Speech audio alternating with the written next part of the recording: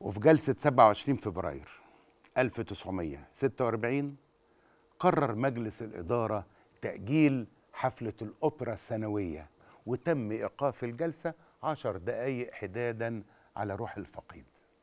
وإقامة حفل تأبيل للمرحوم المغفور. له الله يرحمه. واستمرت الحياة في النادي. واستمر مجلس إدارة الأهلي. يدير النادي بدون رئيس.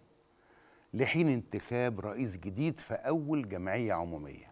وكان بيرأس الجلسات وكلاء النادي أحمد عبود باشا أو أحمد فؤاد أنور باشا. في الوقت ده تم انتخاب أحمد عبود باشا وكيل النادي رئيس لاتحاد السباحة.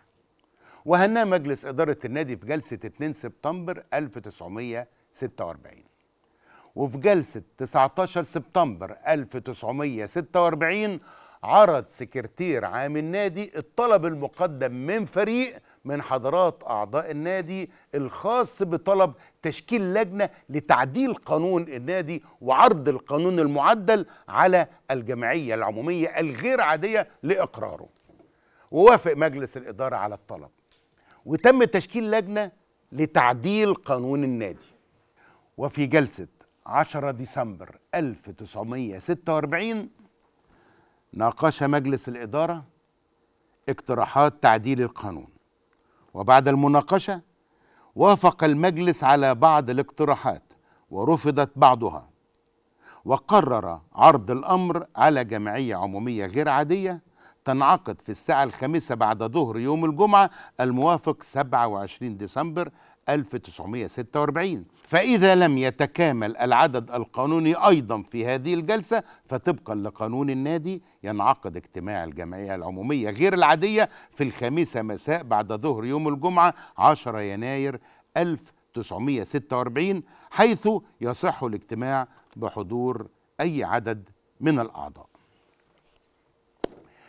ما اكتملش النصاب القانوني لانعقاد الجمعية العمومية غير العادية يوم الجمعة 27 ديسمبر 1946 وتقرر تأجيلها عشان تنعقد يوم الجمعة 3 يناير 1947 وكان من أهم تعديلات قانون النادي الجديد ثلاث تعديلات.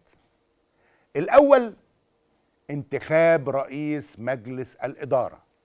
وزي ما إحنا عارفين من أول تأسيس النادي وقانونه بينص على إن الجمعية بتنتخب مجلس إدارة ومجلس الإدارة هو اللي بيختار رئيس مجلسه وكمان مجلس الإدارة هو اللي بيختار وكيل النادي وسكرتيره. لكن التعديل الجديد لقانون النادي واللي تم إقراره في الجمعية العمومية المنعقدة 3 يناير 1947 قررت أن يكون اختيار رئيس مجلس الإدارة حق أصيل للجمعية العمومية.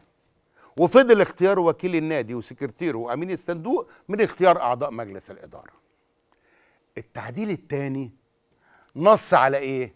لا يصح انعقاد مجلس الإدارة إلا إذا حضر اجتماعه ثمانية أعضاء على الأقل. وكان نص المادة قبل كده حضور خمس أعضاء على الأقل. وطبعا التعديل ده بيزيد من قوة قرارات مجلس إدارة النادي. التعديل الثالث لا يقل أهمية عن التعديل الأول. كان تعديل تاريخي لقانون النادي. سبق بيه كل الأندية سواء المصرية أو الأجنبية. التعديل ده هنعرفه لو أحيانا وأحياكم ربنا في الحلقة القادمة إن شاء الله.